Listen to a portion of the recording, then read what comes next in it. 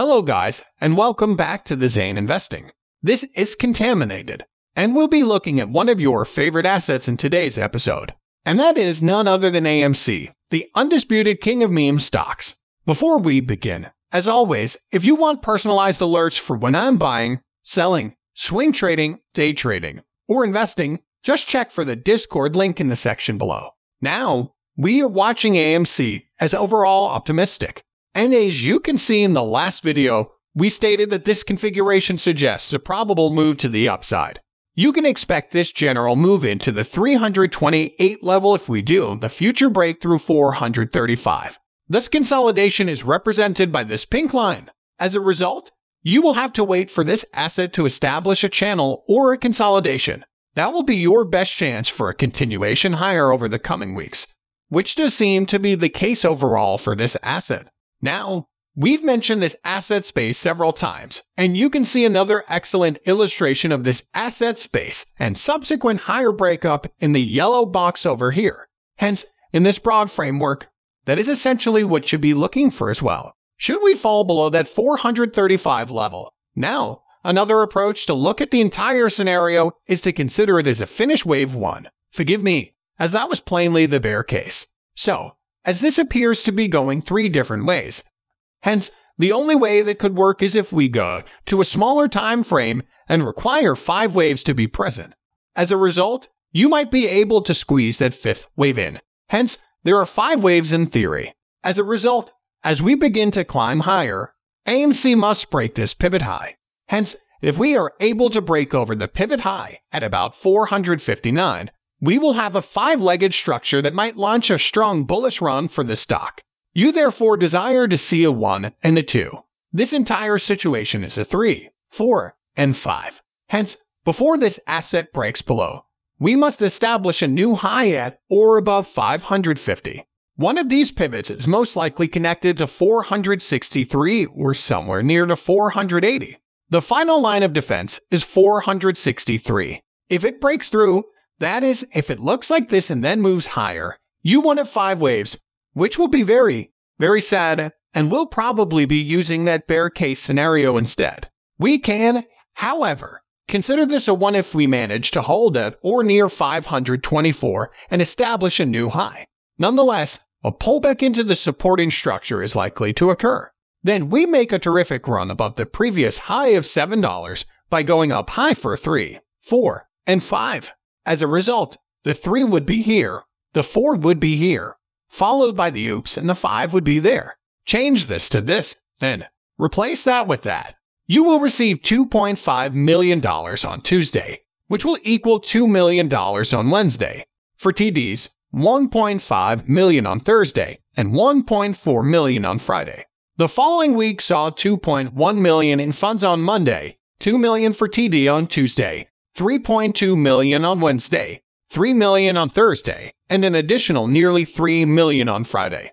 Did you even realize that money were being cut off last week? Several people questioned you, and it appeared as though it had been moved to Friday because, as you may be aware, on Thursday and Friday, the markets kind of sharply declined, whereas AMC actually had a positive day.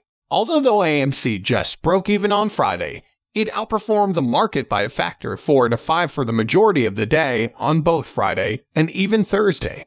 And on Friday, I believe some of those funds were beginning to be closed out. Yet there is still a long way to go. You will also receive some economic data for the upcoming week, but it won't be as significant as what we just received, such as the CPI, PPI, and retail sales. In that regard, it's going to be a little slower. Hence, I don't necessarily believe that this week will be a huge one for economic data, or at least that the data won't significantly affect the markets. AMC's share price fell 1 cent after hours to close at $5.24 on Friday. As a result, both normal trading and after hours trading are down 0.99%. Now, despite my sincere belief that we would, we did not close over 530. Never did we. But we're still here. Your five day moving average is higher than yours. It appears to be positive. You did, in fact, see a fast hastic fast signal, which does show a pretty aggressive bounce from the lows we were at and does show some really optimistic sentiment beginning to flow into AMC. Thus, in my opinion, that is positive. Overall, the MACD appears rather neutral, bordering on ashamed. Below the blue line, this yellow line is beginning to curl up a little bit on some lower red candles. So, it appears that could turn bullish in a relatively short period of time at 48.78. The C is essentially neutral, with neutral being 50 and neutral being little on the oversold side. As I mentioned, but generally very neutral. This is not going to be a price forecast. Rather, it's what I genuinely hope to see in this week. Naturally, that video usually debuts on Sunday. It might be released on Monday. Moving back and forth is me. And when we actually want to release that video, since I believe this week will also be significant leading up to AMC earnings not this week, but the next week, so it will be crucial what happens this week. Nonetheless, I still want to see it close above 530. And this week may be the one when we truly break through this downward trending line of resistance. Since the June rally, you haven't actually been above this line and maintained above it, right? This level has rejected you. That the 530 level, where AMC was prior to the June rally, represents the actual bottom for the entire time. You went up following the rally in January, right? You descended, maintained this level, and kept it up until June, after which you experienced the gamma squeeze. Because shorts didn't provide much coverage. I can't even truly call it a short squeeze. The foundations did not support that. AMC appeared to be still going bankrupt for legitimate reasons. Short short positions did not fully cover. Only people who were completely screwed off and saw the value of their hedge funds fall by 20, 30, 40, or even 50%, as in the case of Melvin Capital, had to cover their short bets. Everyone else simply rode out the storm and probably still paid out around $20 to $30, but not quite the 50, 60, or 70 that AMC ultimately reached. Remove the lines, third wave degree would be that. And after that, you would be watching for a retreat before wave 5 eventually rose higher, maybe into the $12 to $13 level.